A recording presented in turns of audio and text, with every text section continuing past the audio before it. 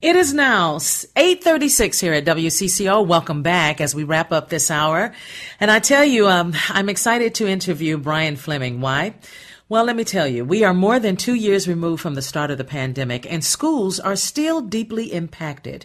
Even after a more normal school year in 2021 22, students and teachers' mental health is still being affected, and I know that because I see some of it in some of my nieces and great nieces and nephews.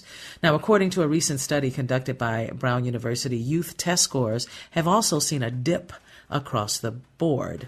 Now, Bryan Fleming, the president of Groves Learning Organization, a Minnesota based nonprofit that is focused on helping students who struggle with learning disabilities and attention disorders, joins us now to talk about why COVID had such an effect on students and teachers and what Groves Academy is doing to mitigate the pandemic's impact on all at the school. And he joins us now um, on the John Schuster Coldwell Banker Hotline. How are you, Bryan? Good evening, Geraldine. It's so good to hear your voice and be with you. I'm doing just fine. Thank you. You sound great. Such a great. Um, I was so excited to interview you tonight. And of course, as we talk about education and COVID, it doesn't seem to have shifted very much at all. Students, um, from what I can see in my own grandchildren, can you believe I have grandchildren? Yes. Um, but I've noticed that they too have really suffered from not being able to get all that they need. And it's difficult to try to figure out all that a student needs when every student is so different. Do you agree? I certainly do, Geraldine, and and you know, m- many of us think that we're getting closer to a complete return to normal, air quotes normal, in education. Um, but the impact that COVID and remote learning had is still being felt. We know for certain now that in districts here in Minnesota and nationwide, those districts that went remote, achievement growth was lower for all subgroups, and especially hit hardest academically were students who attended high poverty schools. Mm-hmm. Right here in Minnesota, only 48% of our third graders scored as proficient on standardized reading tests last year, and, that, and that's down from 57% five years ago in 2017. So, so clearly, COVID impacts are, are being felt and can be seen in, in this data. Here's what frightens me, Bryan. I don't know how people are really taking that in, how the parents are taking it in, the teachers taking it in. Um, I'm not quite sure if they have the capacity to keep going. That is my fear. Have you lost many um, teachers, um, those that help out so much at Groves? Have you lost a lot of people during this COVID time? I would say surprisingly, and, and the good news for us is is that because because we've had such a rich tradition and practice of really fostering relationships within the community, so student to staff relationships and staff to staff relationships. When the pandemic hit, many of our teachers who had grown to have a strong uh, connection and affinity for the school have remained with us. Now, that's not to say that we haven't been impacted in other areas of the school's operations um, as we are t- attempting to hire and onboard new teachers and support staff, we, are feeling the impacts of the uh, of the job market. The market out there is is really challenging uh, right now uh, because of the impacts of, of COVID. You know, it's really remarkable. You said that my guest just before you said, wow, you know, there's so many jobs out there. You know, these companies are trying to hire, hire, hire. Yet there are some real challenges with that. And I'm just curious to know if we should first of all start thinking about COVID 19 and how it weighed on our children and students and teachers and principals, you name it. And if we can define what recovered even looks like. How would you define recovered from COVID 19 when it comes to that's teaching? Really, yeah, Geraldine, that's a, that's a really great question. So, my, my personal thinking on this is that um, th- there have been some really great school reform efforts underway, and I, I think COVID did two things. COVID sort of accelerated those reform efforts. Now, some districts are having more success than others. But COVID also exacerbated these achievement gaps and mental health challenges for everybody. Uh, we know that there's a, there's a teacher shortage here in Minnesota and regionally and nationally. And so I think that schools and school leaders like myself, we need to be really transparent and authentic and understand that the impacts of COVID are not going away, and so I think that it's it's going to be important for us to remember the the the strategies and interventions that we came up with and created during COVID, and keep those in place. I think that parents, uh, especially now, my, my sense is that they appreciate what schools do, what teachers in those schools do, and I think teachers have a, a different sort of vantage point now too. They understand that our profession is absolutely uh, necessary and a, a valued part of what we do in the lives of kids. But I think, as I mentioned just a, a couple of seconds ago, it's incumbent upon us leaders to keep this issue present and top of mind because it, the impacts will will be with us for a while. I don't think we've ever had a decade in our lives where teachers and students both had mental health challenges across the board. Um, and that in itself is very difficult. We are having many challenges. The students are not, um, especially remotely, are having a difficult time trying to understand it or even like it. Um, I remember my oldest granddaughter, who's almost 10 years old, um, she was online one day and I happened to be there making breakfast and having a good time with them. And she says, Okay, Grandma, you know, my class is going to open open up, when the class opens up, there's no no one responsible. There's no adult in the room. And these students are just having a blast trying to figure out, well, where's our teacher? Well, then let's have fun and let's do this. And I thought to myself, we are in deeper trouble than we know. Than we know.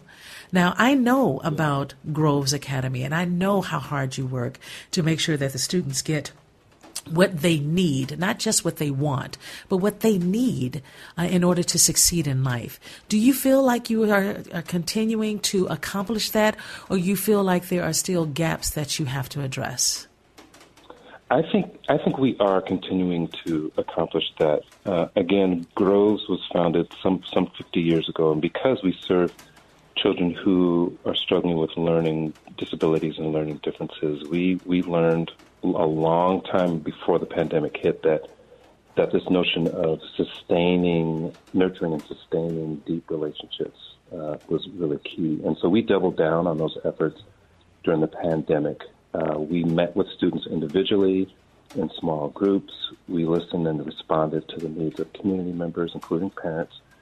Um, we also created virtual opportunities for kids who are interested in connecting with peers outside of class we modified schedules. So we, we sort of doubled down on some of those practices, daily practices that, that we've been known for for years.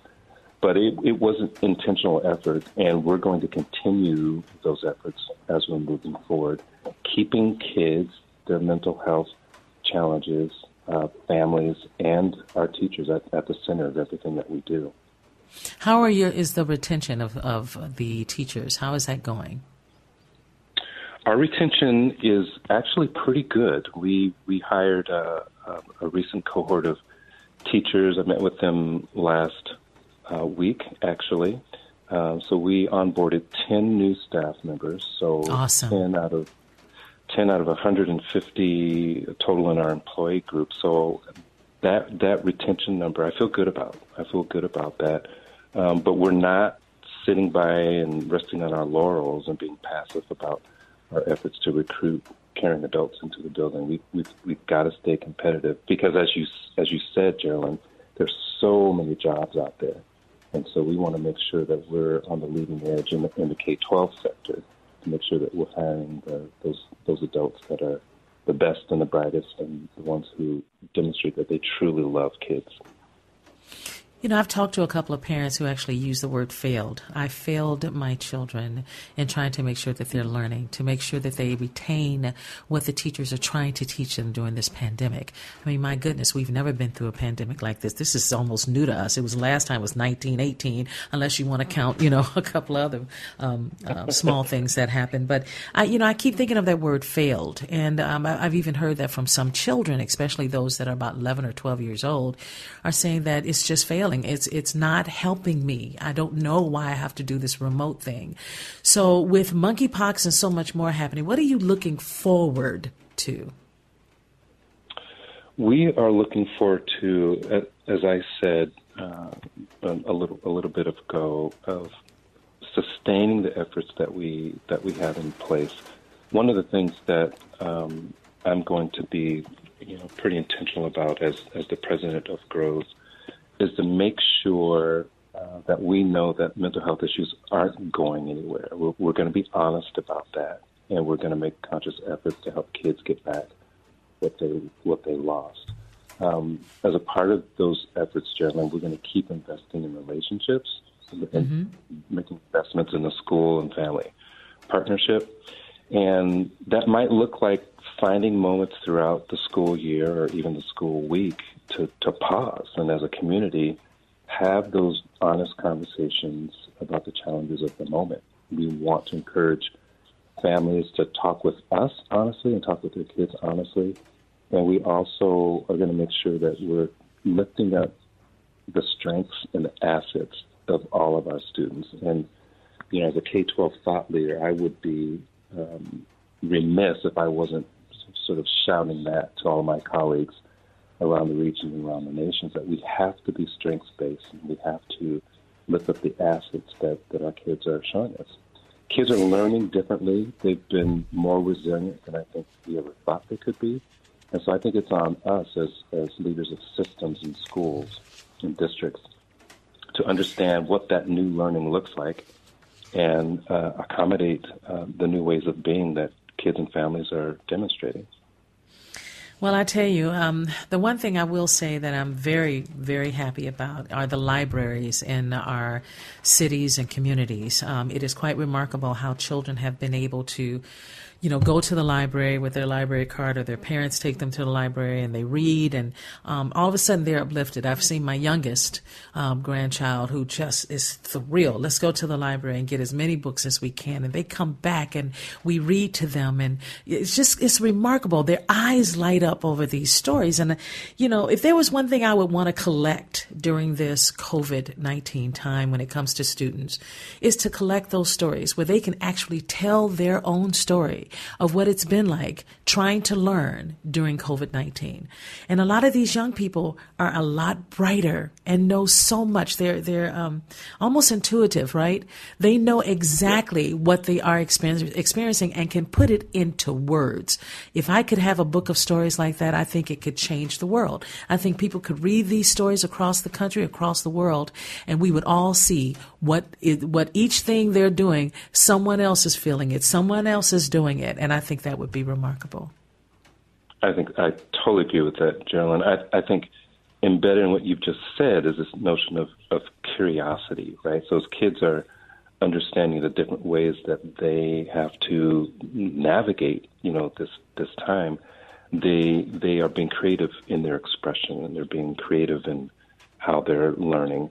And I think the word curiosity is, is a very strong word. If we can help our kids, no matter what comes our way, uh, that we have little or no control over, we can cultivate this this sense of curiosity in our kids. I think we'll be fine. I agree with you on that. I sure hope so. And before you go, tell us a little bit more about Groves Learning Organization. Sure. Uh, Groves is a Minnesota nonprofit. We we like to term ourselves an uh, educational ecosystem that's focused on building confidence, success, and purpose. The Academy is our brick and mortar school, and our Groves Literacy Partnerships is our initiative to bring evidence based curriculum into schools around the state. Finally, our Learning Center offers a broad array of services for students throughout the community who are struggling to learn or may be diagnosed with learning disabilities or attention disorders. We're proud to be a, a player in the Twin Cities K through 12 scene, and we look forward to lifting up our good work and collaborating with, with peers across the metro. Well, congratulations on all that you're doing, Bryan. It's so good to hear your voice. Thank you for joining us tonight. And I hope people, anyone that needs to know more, please uh, tell us where they could go to call or a website. Absolutely uh, www.groveslearning.org. And uh, we'd be happy to take a call or, or respond to an email. We hope people will reach out to us, and we'd love to learn about you and your children. Fantastic. Thank you so much. Tell everyone hello that are still there, okay? Will do. Tell them I said hello. Voice, All right, you okay. too. Bye bye.